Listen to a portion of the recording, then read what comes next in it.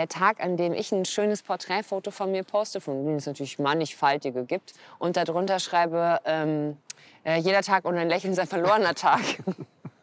Äh, Ist das oder, von dir? Ja, ist von mir. Okay, Ist von mir. Das sage ich so, ist ein Spruch von mir. äh, das wird hoffentlich nie passieren. Hoffentlich nicht. Ja. Lebe dein, träume nicht dein Leben, sondern lebe deinen Traum ist auch ja, von dir. Ne? Ja, genau. Ja. Lebe nicht deinen Traum, sondern halt deine Fresse. Das ist von mir. Let it all go.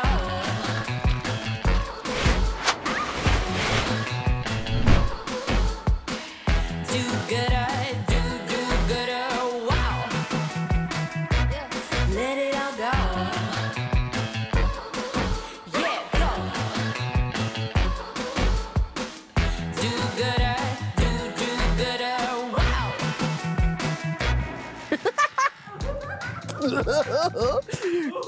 Lass uns begrüßen, wie seriöse erwachsene Menschen. Wir dürfen uns gar nicht. Du bist wirklich sehr beweglich. Du machst bestimmt Sport. Nein, auf gar keinen Fall. Aber heute, ich habe gedacht, ich mache heute Sport, damit es so aussieht, als würde ich Sport machen. Ich mache nie Sport. Ich weiß gar nicht, ich weiß nicht mal, wie man das Wort schreibt. Kommt dann D oder ein T hinten? Wo? Vorne? Äh, bei Dings. Nein, ich glaube, es ist mit ACH. Ach, Ich habe gerade ähm, das erste Mal in meinem Leben ein Hörspiel eingesprochen. das ist ein Traum von Das mir. war so schön. Ich war in erster Linie einfach eine wahnsinnige Frau. Also Ich habe hast sehr viel gelacht. Sehr viel aber so.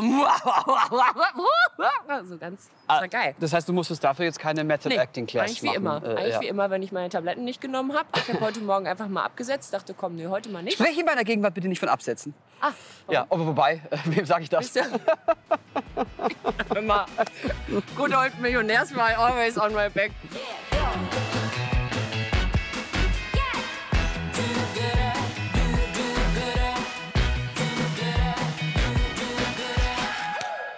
War sehr gut. Ja, also ich habe ja früher auch viel so EB-Teamkram gedreht und das. äh, Electronic das, Broadcast, ich Ja, erkläre es genau. noch mal für den Sehr gerne. Zuschauer. Das ist, wenn man mit einem Kamerateam draußen ist und nicht im Studio dreht. Ne? Man muss doch immer den Zuschauer mitnehmen. Wir denken immer, das weiß jeder, aber... Zuschauerin solltest du übrigens. Oh, ah, fuck. Ich meine es gar nicht böse. Ich, ich ich gebe mir wirklich Mühe. Aber ist auch aber voll gut, ich auch und ich mache es auch super oft falsch, aber ich finde es total erstaunlich, wie schnell das so ins Hirn einsickert, dass man das macht. ZuschauerInnen, liebe Leute vor dem Empfangsgerät, Ja. vor dem Fernsehapparillo. So. Oh, Apparillo. Apparillo. Doch, äh, hier eine Nummer von äh, Tom Richtig- Jones. Richtig lustig, ja. This is the way to Apparillo.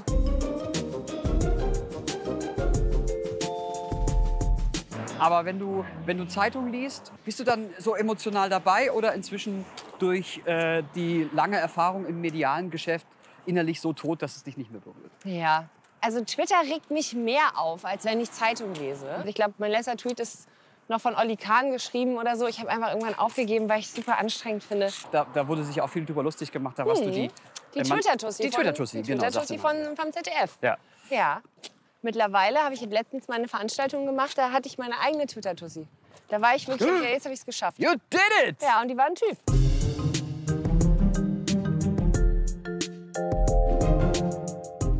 Veranstaltung heißt, das macht man ja ganz oft, das kriegen ja die Leute so nicht mit, die, die ich nur aus dem Fernsehen kenne. Dann kommt ein großer deutscher Autohersteller und sagt, wir machen heute Abend eine Gala. Äh, wollen Sie da nicht äh, Ja, da bin ich, ja, da bin ich tatsächlich eher so ein bisschen. Also ich bin da sehr picky und ich habe eine Anfrage bekommen für so, ein, für so eine Awardshow. Da ging es auch um so junge Köche und Köchinnen. Und dann stellte sich raus, am Ende ist es Perrier und Perrier ist Nestle und und ich kann halt nicht parallel für Viva Con Agua Ja. in Äthiopien einen Brunnen buddeln, um dann äh, aber drei Wochen später mir von äh, Perrier äh, eine goldene Schürze um den Hals hängen Das wäre dir auch, das hätte einen riesen Shitstorm gegeben. Das wäre dir um die Ohren Ja, hätte Du hast es abgesagt, keine- nehme ich jetzt Ja, mal. sicher. oder? Nö, ich hab okay. gemacht. Ja. Und, äh, hier ist mein neuer Bentley.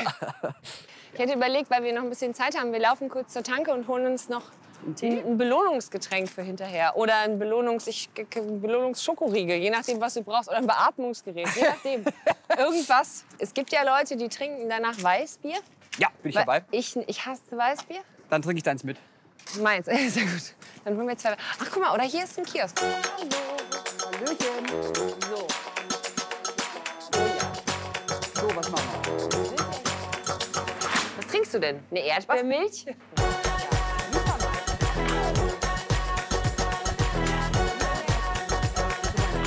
Guck mal, hier gibt's noch die alten. Das ist, Osram, 75 Watt. Ja, aber das sind die noch mit Glüh. Damit dir mal ein. Licht aufgeht, ja.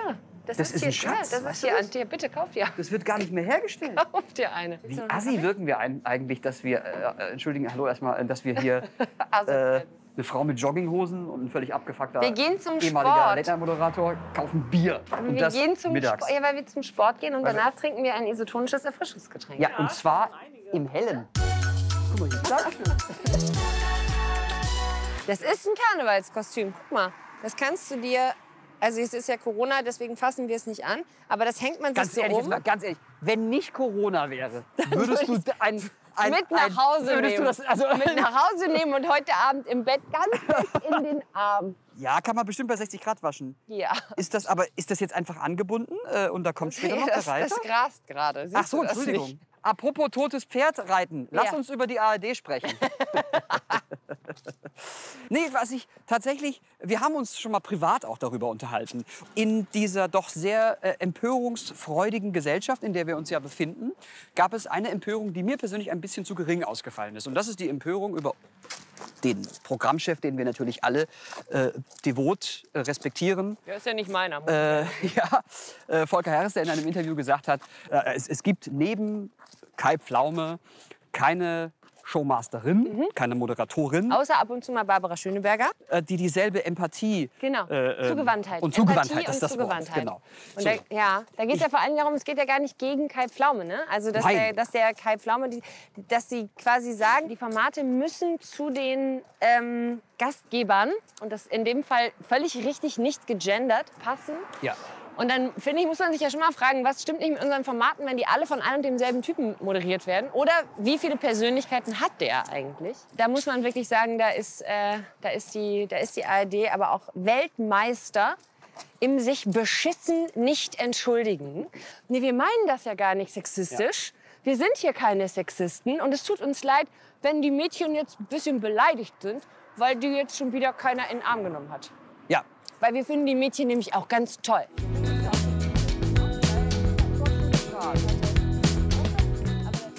Weiß gar nicht, wo, ich hatte auch irgendwo noch ein Telefon. Ich weiß aber gar nicht, wo es ist. Ein Telefon? Soll ich Ja. dich mal anrufen? Nee, und es bitte klingelt? nicht. Nee, alles Nee, mein Telefon ist immer leise. Und machst du manchmal auch Digital Detox? Weil ich habe manchmal wirklich, äh, ich habe ab und zu, so wenn ich lange Zug fahre, dann tut mir der Daumen weh. Mir auch. Weil ich dieses äh, Extragelenk, das man, glaube ich, das einem anwächst, äh, ab einer äh, jüngeren Generation nicht habe. dieses, es gibt es nicht so Ganglium oder so? Gang, Ganglium. Ganglium, Ganglium, genau. So, und da schalte ich halt mein Ganglium runter und äh, dann tut's weh. Ja, nee. Meine Tochter hat ein Handy bekommen. Tatsächlich, die ist jetzt elf und die hat zum Geburtstag ein Handy bekommen, weil sie, damit sie sich äh, alleine in der Stadt irgendwie bewegen kann. Und ich habe dann war dann sofort so Bildschirmkontrollzeiten und keine Apps und blablabla. Und äh, gar nichts. Keine Apps? Das ist quasi wie ein, wie ein, du kannst wie so ein Seniorentelefon, wo man nur auf die Eins drückt und dann rufst du immer deine Mutter an. Richtiger Spaß. Ähm, und im Zuge dessen hat sie dann irgendwann mal zu mir gesagt, ja, aber ähm, was ist eigentlich mit dir? Und dann dachte ich so, ein, ein guter Punkt. Und dann haben wir so Handyregeln eingeführt und das, äh, und das glaube ich auch sogar durchaus mehr für mich. nee, aber schon, schon echt. Und mittlerweile äh, tatsächlich gar nicht, weil ich gemerkt habe, dass gerade durch diese Corona-Zeit mich das richtig runtergezogen.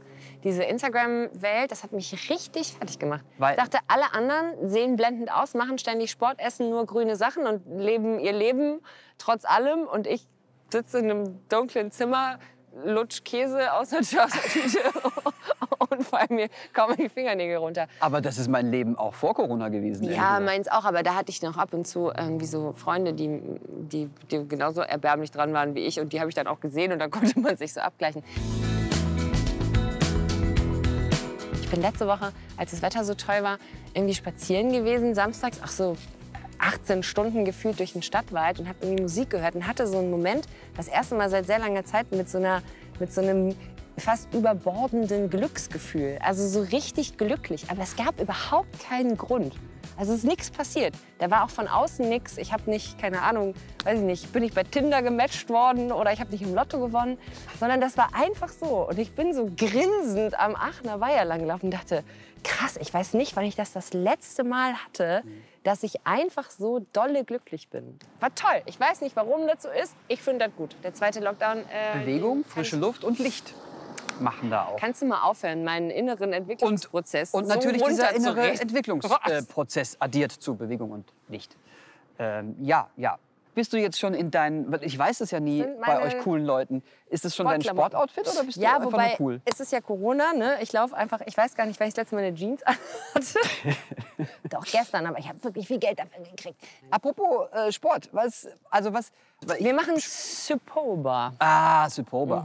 Cool. Wir machen okay. Supoba, das heißt, ich glaube, System of Power and Balance oder irgendwie sowas. Natürlich. Wir das ist doch hier das amerikanische äh, Rechtssystem auch. Genau, ne? richtig, ja. okay, cool. Genau. Also du wirst zwischendrin, wirst du kurz gefragt, äh, Todesstrafe, nicht Todesstrafe und du musst halt entscheiden, aber äh, mit Ah. einer Körperbewegung.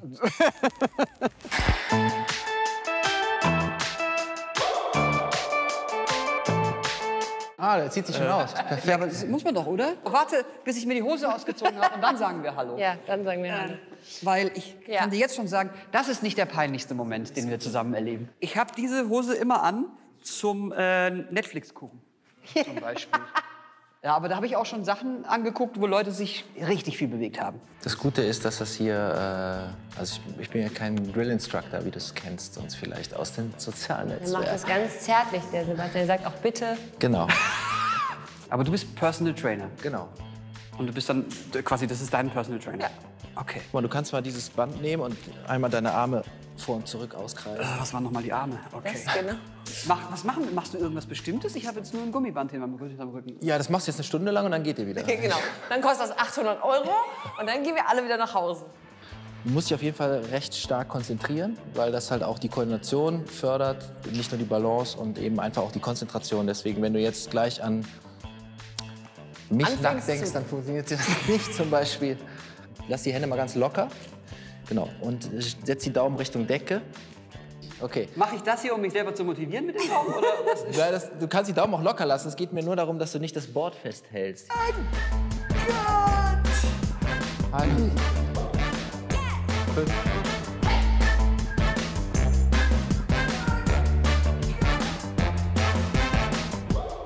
Die Frage ist, wo spürst du es am meisten? In meiner Würde?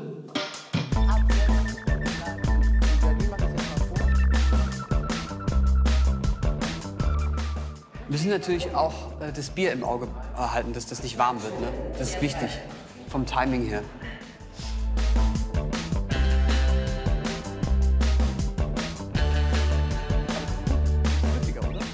Guck mal an, schon wie ich hier hochsteige, ist doch schon so.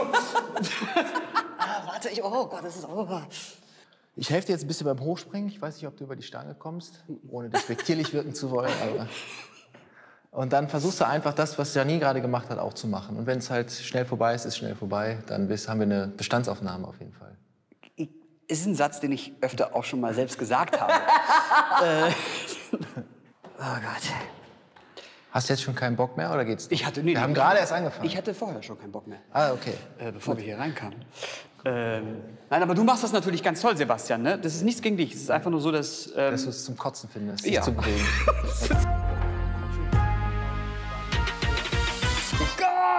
Locker. Mach Ich mach gar nichts. Ich gehe ganz von alleine runter. langsam. Ich, oh Gott!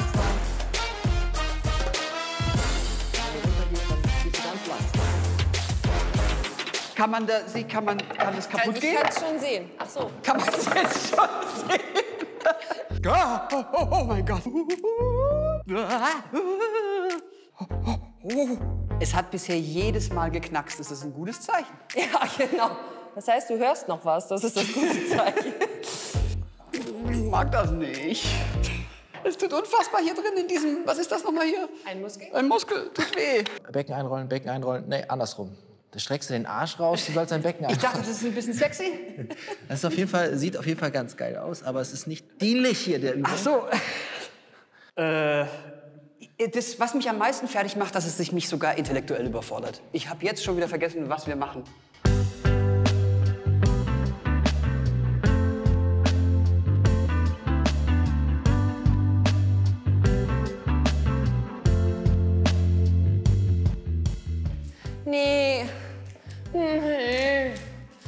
Das, ich mag, das mag ich nicht so gerne, was jetzt kommt. Ach, das magst du nicht so Das gerne. mag ich nicht so gerne. Okay. Das ist, da sieht man richtig bescheuert bei aus. Du meinst so bescheuert, wie wenn man Wasser trinkt, um äh, das Markenetikett zu verbergen mit seinen Händen? Es sieht aus, als würdest du dir in so einem äh, Inga Lindström-Film nach so einem äh, langen Tag am Ja. Strand in den Dünen, nachdem du dich gerade von deinem, äh, von deinem Ex-Mann getrennt hast, äh, dir so eine heiße Tasse Tee machen, wo so ein kleiner Schuss rum drin ist, damit es nicht ganz so weh tut. Egon. So, aber zumindest konnte man nicht sehen, dass da Wolwig drin ist. Ja, Das ist doch gut.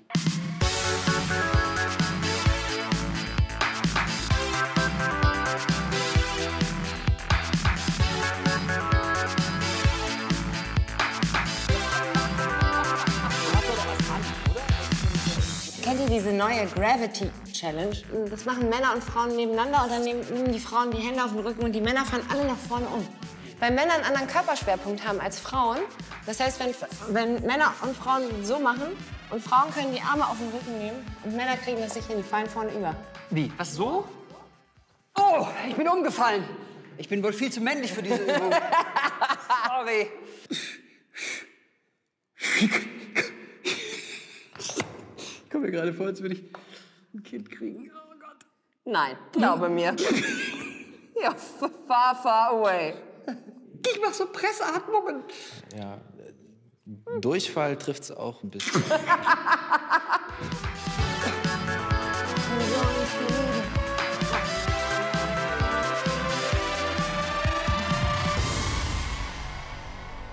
Kann man das zu Hause auch mit einem Nudelholz und einem Feschbarbrett machen? Mach mal gerade, mach mal gerade, mach mal gerade, mach mal gerade. Jetzt die Hände nach vorne. So, okay, jetzt gehst du ganz leicht mit dem Po nach unten, stopp. Oberkörper aufrichten, Po bleibt tief, die Knie raus und gleichzeitig drückst du die Knie nach außen. Und nicht mit dem Po runtergehen, der bleibt da oben. Der Keil soll, darf nicht runterfallen. Okay. Ja, der Po bleibt da und den Oberkörper aufrichten, nicht mehr auf den Kopf kotzen. Oberkörper aufrichten. Zur Sicherheit. Oberkörper aufrichten, Oberkörper aufrichten, Po bleibt tief. Hände nach vorne. Nicht mit dem Po runtergehen, der bleibt da oben. Bisschen höher den Po, bisschen höher. Das ist schön. Bisschen tiefer? Nein, Quatsch. Ich finde es zum Kotzen, wenn gut aussehende Männer auch noch lustig sind. Irgendwas muss uns doch auch noch bleiben. Geld? Gut. Bist du auch reich? Wie definierst du Reichtum, ist die Frage, ne? Oh, wenn du jetzt mit so einem cheesy Scheiß kommst, Gesundheit, Familie, mich selbst, die innere Balance. Ich bin so reich.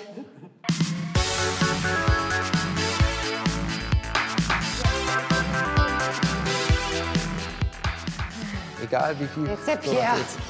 Der Pierre macht aber ohne. Nee, nicht für den das runtermachen. Ha? Warum? So, weil er nicht so trainiert ist wie du. Ich hab's nicht gesagt, aber nur gedacht. Nee, komm, mach drauf. Ich will, also aus. Nee, okay.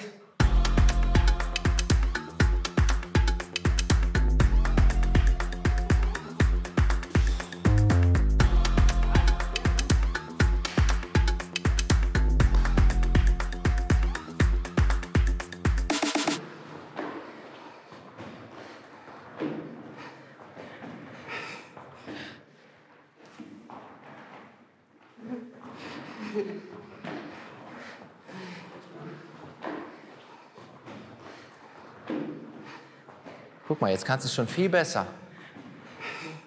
Drei, zwei, eins und geschafft.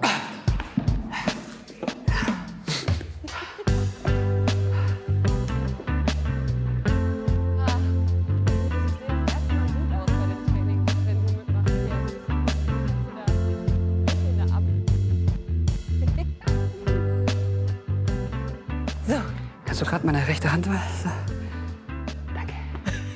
Danke. Vielen Dank, Sebastian. Tschüss, danke. Bist du ein kontrollierter Mensch oder bist du auch mal, lässt du auch mal alle Viere gerade Was wäre sein? denn jetzt deine Einschätzung?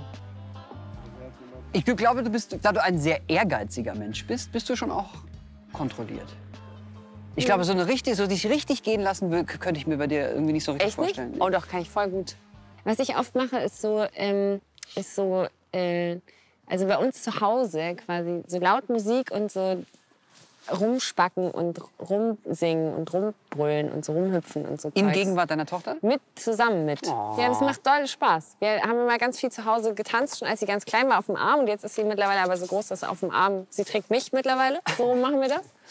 Das ist ein sehr schönes Bild. Ich stelle mir jetzt auch ein sehr, ähm, wie so ein romantisches Bild, wie du mit deiner Tochter durch die Wohnung flippst. Ein bisschen so wie so ein, wie so ein Werbespot für Parkett. Ist deine Tochter eigentlich auch Showbusiness talentiert?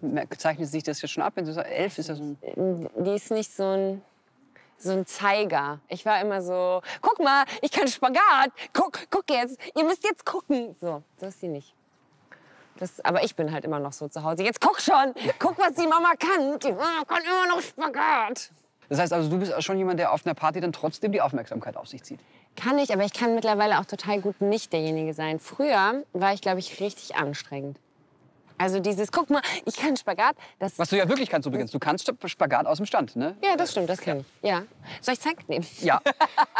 Nee, aber würdest du noch mal, also ich würde nicht noch mal 20 sein wollen. Also wie ich war mit 20. Nee. Ich war wirklich furchtbar mit 20. Ja, Manche Leute sagen das heute auch immer noch über mich, aber früher, da fand ich mich jetzt rückblickend selber richtig ätzend.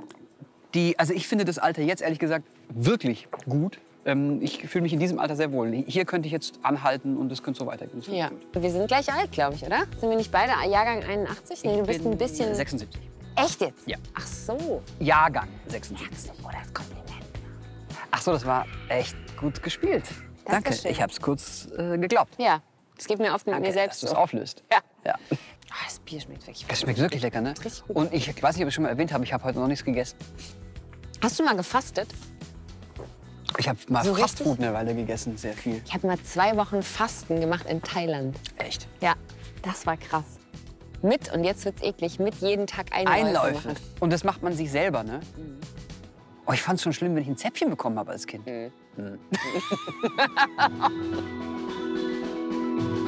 Es war krass. Also wirklich krass, was mit dem Körper passiert, weil man so viel, was man nicht glaubt, irgendwann so wahnsinnig viel Energie hat, weil der ganze Verdauungsapparat nichts mehr zu tun hat und deswegen äh, einfach der Körper so alles klar, Leute, ich habe ähm, richtig Bock. Was können wir tun? Und ich Ja, diese Energie kommt natürlich von, von daher, ich sterbe gleich, weil ich nichts esse. Ich sollte jetzt unbedingt ein Tier töten und es essen.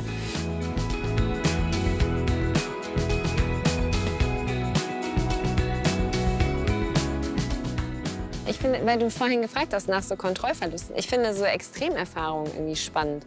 Also so Sachen zu machen, die natürlich irgendwie so sehr punktuell sind. Keine Ahnung, tauch mal ohne Neoprenanzug unter Eis oder so durch, weißt du, so Zeugs. Das hast du gemacht. Das hast du gemacht. Stimmt, das hast du ja gemacht. Richtig fürs Duell. So richtig. Zeugs. Ich weiß Ja. auch nicht, warum irgendwas an mir tickt, nicht richtig, aber sowas finde ich auch ein bisschen geil. Das ist natürlich auch ein bisschen das Privileg unserer Berufe, dass man manchmal in Situationen kommt, Mhm. Krass. die man so privat nicht gemacht hätte. Never, ever. Heute, zum Beispiel, ja, das ist eigentlich ein sehr gutes Beispiel dafür. Heute ist so eine Extremsituation. Ich habe mich bewegt. Mhm. Äh, gut, jetzt trinke ich wieder Alkohol, das heißt, alles wieder normal. Ich wollte gerade sagen, holt ausgeglichen. wieder zurück. Ja. Nimmst du vorbehaltlos Medikamente? Ich bin voll nicht pharmaabhängig. Bist du so jemand, der sofort... Überhaupt nicht. Der einzige Moment, in dem ich so Schmerzmittel nehme, ist wirklich, wenn ich, wenn ich mit 40 Fieber auf eine Bühne muss und es geht mir hundeelend und ich muss mich für zwei Stunden einfach da durchprügeln, weil ich weiß, ich kann den Schmerz gerade nicht haben. Was du in diesen Zeit natürlich auf keinen Fall machen würdest, sondern du Fall. würdest dich sofort ins Telefon Wobei, wenn ich weiß, dass ich Corona habe, dass ich kein Corona habe, dann kann ich ja trotzdem. Das ist ja überhaupt kein Problem. Ist ja nur Corona das Problem. Stimmt, ja. Nee, ansonsten habe ich tatsächlich rausgefunden, dass man mit Schmerz und auch mit Kater und all so Kram, man kann unfassbar viel mit Atmen machen. Das ist eh gut, wenn man regelmäßig atmet. Das ist super. Ich habe das, ich habe jetzt, ich habe für mich Ausatmen entdeckt. Ich war lange nur so ein Einatmer. Mittlerweile mache ich auch was mit Ausatmen.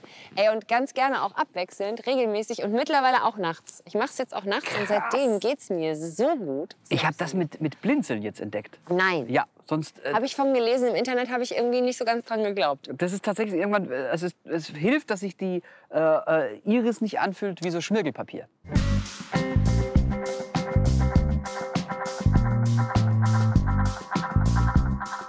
Sollen wir uns mal ein Bier holen? Ja, und Ja. es gibt ja auch Pfand hier. Ja, also. Das ist nicht meine Gage. Habe mir nämlich zwei, zwei leere Flaschen versprochen als Ja, Gage. dann komm, behalt. ich spüre meinen Körper nicht mehr. Look at me go.